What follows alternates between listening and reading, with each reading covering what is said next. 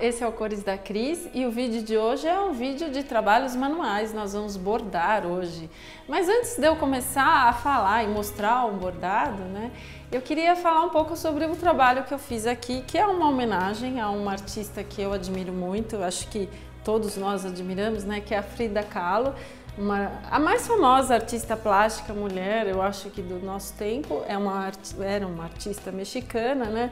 E a Frida Kahlo, ela tem aparecido aqui né, no, no Brasil e certamente em outros lugares do, do mundo também, em muitos, uh, em muitos objetos de decoração, em roupas, né, na própria decoração dos ambientes, né, tudo que remete ao, ao universo mexicano, até eu estou meio Frida Kahlo hoje, está é, tá muito em voga, né? É muito bacana esse movimento também, porque ela era uma mulher que, que, que falava muito do universo dela particular, mas do universo feminino também. E hoje a gente tem visto muitas as frases que a, que a Frida falou, as coisas importantes, a contribuição que ela deixou, não só para o mundo das artes plásticas, mas para o mundo, né? Então, várias frases dela são são reproduzidas as imagens como uma maneira de reverenciar. E eu também fiz o meu trabalho para, na verdade, é, é, o segundo trabalho até que eu faço com a Frida, porque eu já fiz uma exposição dos relicários de Frida Kahlo e, e dessa vez eu resolvi fazer uma serigrafia com a Frida. A serigrafia em papel, né, eu, é um trabalho que eu faço e mostro bastante aqui no meu canal, o Cores da Cris. Esse é o trabalho que eu fiz em papel. Mas ao mesmo tempo que eu fiz essa gravura em papel, eu resolvi imprimir também em tecido. Deixa eu mostrar aqui para vocês. Para eu poder depois bordar, que é justamente o que eu vou mostrar hoje, né? Tá aqui, achei. Então essa mesma estampa que eu fiz no papel, eu fiz em tecido. Na verdade eu mudei algumas coisas, porque no papel ela tinha mais detalhes, né? Tinha as flores no fundo e as flores na roupa mas aqui no tecido eu estampei só a figura mesmo da Frida, né? justamente para a gente poder completar bordando. E só para falar muito rapidamente, porque aqui no canal eu tenho mostrado vídeos sobre serigrafia, né? a serigrafia que eu usei aqui é um método fotográfico, então eu parti de um desenho que eu fiz, eu gravei vários, várias telas né, de serigrafia fazendo fotolitos, ó, são feitos à mão para eu poder justamente reproduzir essas imagens né, e estampar no tecido ou no papel. E eu fiz vários desses tecidos também com outros desenhos, ó, vou mostrar aqui para vocês, já antes de começar a trabalhar. Então o tecido que eu usei, um tecido de algodão cru como esse, e estampei passarinhos, todos eles estão sem detalhes, né, justamente que é para a gente poder completar esse trabalho. A raposinha. E dentro do universo da Frida, né, que são os objetos que remetem né, mais à cultura mexicana, né, os vasinhos de cactos que também deram quadrinhos bacanas que estão expostos aqui no meu cenário, né, com bastidor, e é sobre isso que eu vou falar agora. Então, eu vou mostrar para vocês como fazer o bordado, né, um bordado básico, na verdade, eu usei alguns pontos, mas o, o, conceito do bordado que eu usei aqui é um bordado livre, ou seja, agulha e linha você vai fazer a sua criação totalmente à vontade. A ideia é justamente essa, né? Você pegar o, o tecido, ó, como esse aqui, né? A estampa básica e completar esse trabalho com o que você quiser. Então, bordei a roupa da Frida, bordei alguns pontos no, no, rosto, na boca, no cabelo, os olhos e, uma, e as frases, né? Eu fiz aqui a reprodução de uma frase dela mesma que eu acho que fica bacana, fica bonito, é uma, uma pegada mais atual. Então vamos começar o passo a passo. Né? Nesse caso específico da Frida, como eu resolvi bordar flores na roupa dela, eu fiz um desenho muito simples, né, que em papel vegetal, a lápis, você faz um esquema daquilo que você quer bordar. Claro que você pode bordar livremente e você pode desenhar direto no tecido também, tá? Mas se você quiser fazer um desenho no papel vegetal, você transfere para o tecido com carbono. Aí a primeira etapa desse trabalho né, é bordar, preencher as flores com as linhas coloridas e depois a gente vai fazer o contorno. Então comecei pelo miolo com a linha, é a linha Moliné, tá? É uma linha própria para bordado que vem em meadas. Ela tem seis fios e para fazer o preenchimento, para dar mais volume, nesse caso eu optei por bordar com três fios da linha. Então você pega a meada, separa três fios, coloca na agulha, né, agulha própria para bordado e começa a preencher o miolo com esse amarelo. São pontos retos de preenchimento, completamente à vontade. Cada bordado vai ficar de um jeito, cada desenho vai se compor de um jeito. Tá? E eu vou fazendo esse, esse miolo né, amarelo sem completar totalmente a área reservada para ele. Eu vou deixar um espaço sem completar, porque depois eu vou preencher com preto. Tá?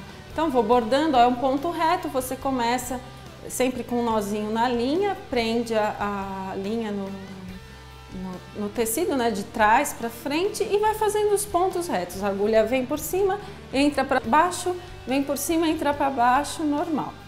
Eu estou usando o bastidor para bordar, nesse caso, porque fica mais fácil em alguns momentos usar o bastidor, em outros não. Vocês vão ver aqui durante o, o passo a passo. Então, nesse caso, eu optei para usar o bastidor para essa etapa do trabalho.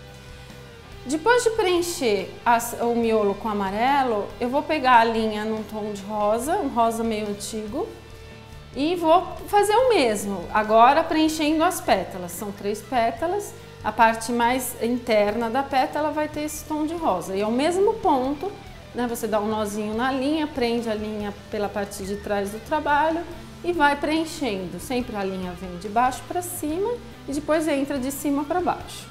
Tá? Faça isso até completar todos os pontos com a linha rosa. Depois de fazer o bordado com a linha rosa, você vai iniciar o bordado com a linha vermelha. Do mesmo jeito, você vai usar três fios também, prender com um nozinho atrás e vai fazer pontos exatamente iguais, né? Esses pontos de preenchimento que vem de baixo para cima, né? E vai preenchendo, sempre deixando margens no desenho original. Você deixa uns espaços vazios que o contorno, no caso desse modelo que eu decidi fazer, ele vai vir depois para definir. Bom, depois de bordar as flores, né, as pétalas, você vai bordar as folhas. Para bordar as folhas eu escolhi duas cores de linhas. Primeiro o verde, né, um verde mais claro, o verde água, e você vai preencher também fazendo esses pontos, inclusive alguns mais longos, outros mais curtos. Com isso você vai dando movimento para o seu desenho. É um bordado completamente livre. Eu não sou uma bordadeira profissional, assim, não conheço muitos pontos. Eu gosto de bordar desse jeito mais intuitivo, né? E seguindo o estilo de desenho que eu faço. Depois de bordar com o verde, você vai pegar então a linha azul e vai repetir também o mesmo trabalho, sempre preenchendo da mesma forma, né? Nesse caso as folhas. Bom, agora que você já preencheu as flores e folhas, é, para fazer o contorno é melhor tirar o bastidor, né, tirar o tecido do bastidor e trabalhar com ele na mão. Fica mais fácil para o tipo de ponto que eu vou ensinar em seguida. Você vai pegar a linha preta, aí no caso a gente vai trabalhar com dois fios apenas da linha Moliné. Vai colocar na agulha e vai começar preenchendo o contorno da flor, com o ponto atrás. O ponto atrás é um pouco diferente, né? Ele é um ponto que você faz da seguinte maneira: você prende a linha no tecido, né? Dando um nozinho, vem com, com a linha de baixo para cima, aí você leva ela para o seu lado direito, né? Uh, volta com ela para a esquerda, mas sem encostar no ponto inicial, né? Sempre recuando um pouco mais à direita e deixando a linha para baixo. É importante segurar, no caso eu sou destra, eu seguro com a mão esquerda a linha para baixo. Você sempre mantém a linha para baixo para fazer esse ponto. Ele tem esse nome ponto atrás justamente porque você vai para frente e volta para trás com a linha. E ele vai formando uma espécie de uma correntinha, né, que vai se encadeando. Ele é um ponto bem bacana para fazer contorno, ele tem um volume bacana. Então você vai contornar a flor com esse, com a flor, as folhas, né, todo o desenho com esse ponto. E quando você chegar no detalhe do, do miolo, né, que eu deixei um espaço entre o amarelo e o rosa, você vai preencher esse espaço com a mesma linha preta que está na agulha, né, aproveita que você chegou nesse ponto e faz esse ponto de preenchimento que é feito é, realmente é, direto, né? Você entra e sai com a agulha no tecido de uma forma encadeada, assim, mais é, direta, e você vai preencher todo esse espaço com a linha preta. Ele vai ficar com bastante volume também. É, eu mostrei um pouquinho só do contorno preto, mas naturalmente todo o trabalho vai receber, né, todas as flores que você fizer vão receber esse mesmo tipo de bordado, esse mesmo preenchimento, esse contorno. E a linha preta também, você aproveita e realça algumas partes da estampa que já estão em preto, né, a própria serigrafia preta, você vai realçar com pontos de bordado, que pode ser tanto ponto de preenchimento como ponto atrás. Isso vai dar um volume né, para o trabalho que fica muito interessante. Ó. Vou até mostrar aqui para vocês. Ó.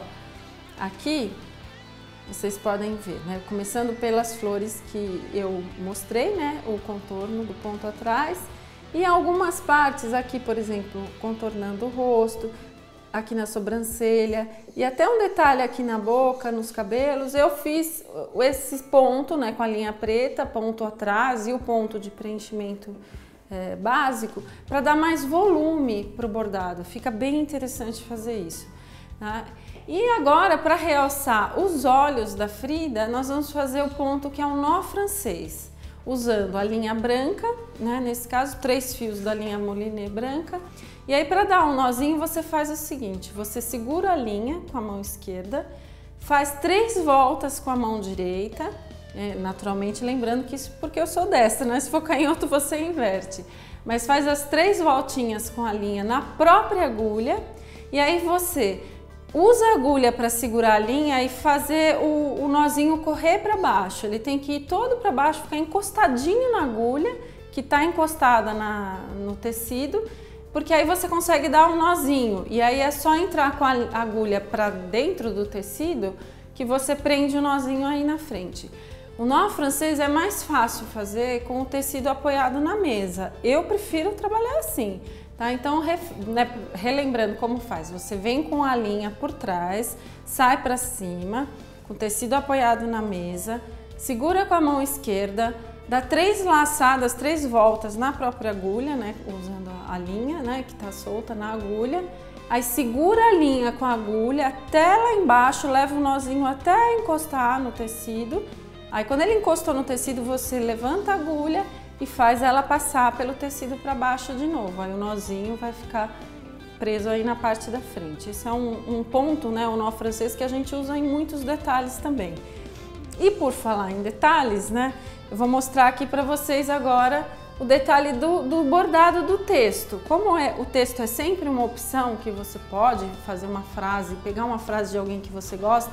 No caso aqui, essa frase, pés para que te quero se tenho asas para voar, é uma frase da Frida Kahlo. E esse bordadinho aqui você faz com ponto reto comum, né? Aquele ponto que a agulha vem para cima, para baixo, para cima, para baixo.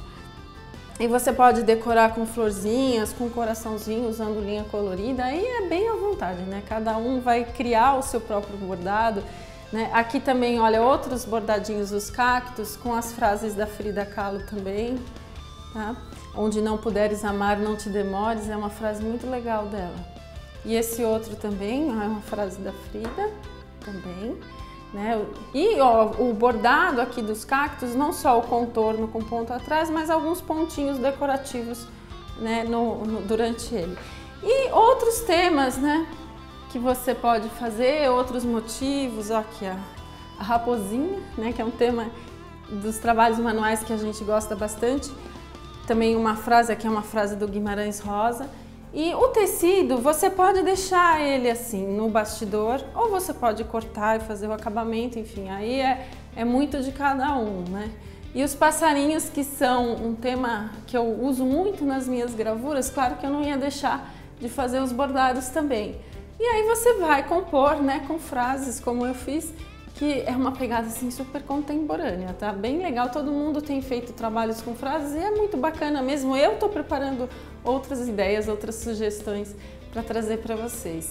Eu espero que vocês tenham gostado né, dessa apresentação. Eu gostei muito de fazer esse trabalho, não só porque eu gosto muito das técnicas né, de serigrafia e bordado, mas também para reverenciar a Frida Kahlo. Eu acho que ela é uma pessoa que a gente tem que estar tá sempre por com ela por perto, né? Seja numa ideia, numa referência ou lembrando das coisas que ela deixou pra gente, né? De, de lição de vida e como artista plástica naturalmente, que é sensacional.